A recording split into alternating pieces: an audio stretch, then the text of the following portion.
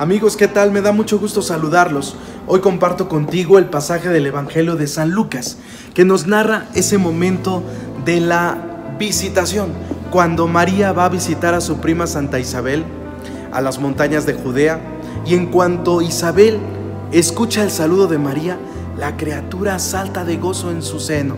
Entonces Isabel queda llena del Espíritu Santo y le dice a María, ¿quién soy yo para que la madre de mi Señor venga a verme? Apenas llegó tu saludo a mis oídos, el niño saltó de gozo en mi seno.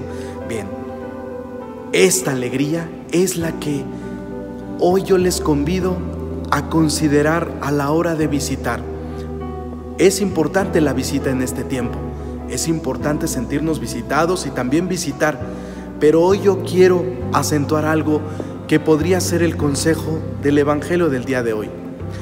Lleva alegría, lleva la presencia de Dios, pero también vuélvete una visita agradable, no una visita incómoda. Por lo tanto, es valioso que enriquezcas el espacio, el ambiente y a las personas a las cuales vas a visitar.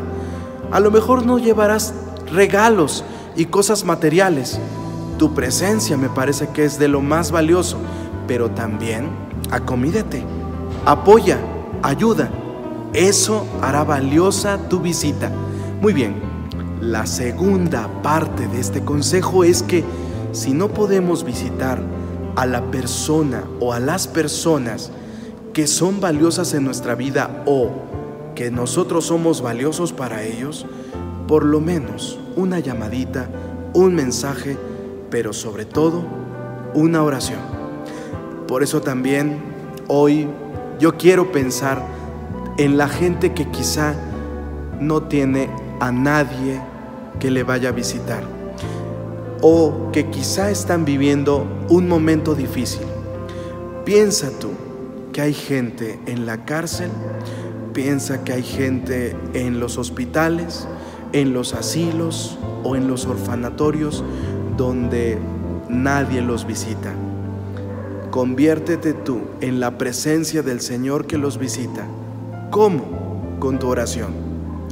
Hoy pues entremos al templo y piensa en esa gente que necesita de la visita de Dios. Hazla real con tu oración. Hermanos, que tengan un feliz día. Dios los acompaña donde quiera que vayan. Gracias por escucharme.